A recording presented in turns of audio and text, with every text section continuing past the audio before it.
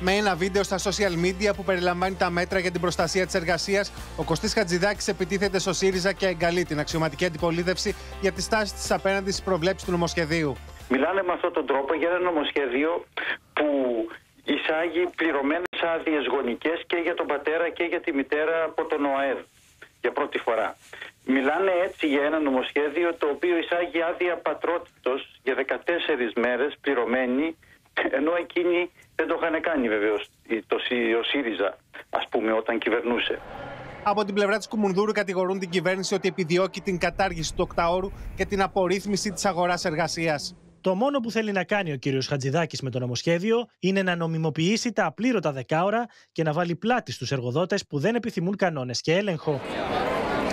Η σύγκρουση μεταφέρθηκε και κατά τη συζήτηση του νομοσχεδίου στην αρμόδια επιτροπή της Βουλής. Στα εφηβικά του χρόνια, ο κύριος Υπουργός θα διάβαζε πολύ τη ραμόλα.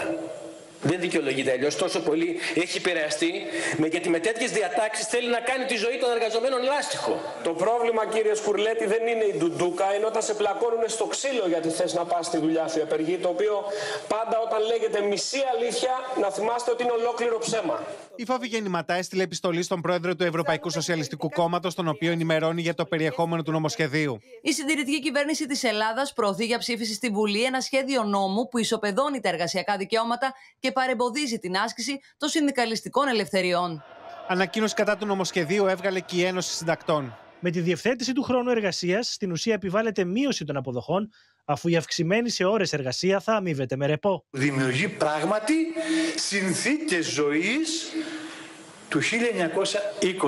Είναι λοιπόν σύγχρονο σήμερα το δεκάωρο.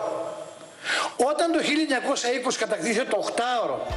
Η ψήφιση του νομοσχεδίου έχει προγραμματιστεί για τις 17 Ιουνίου και η κυβέρνηση σκοπεύει να ζητήσει ονομαστική ψηφοφορία, ώστε όπως υποστηρίζει να εκθέσει τα κόμματα της αντιπολίτευσης αν καταψηφίσουν τις θετικές για τους εργαζόμενους διατάξεις.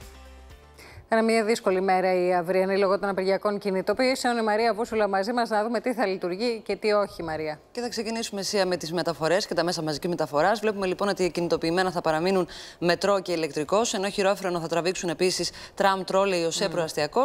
Δεμένα στα λιμάνια τα πλοία καθ' όλη τη διάρκεια της ημέρας.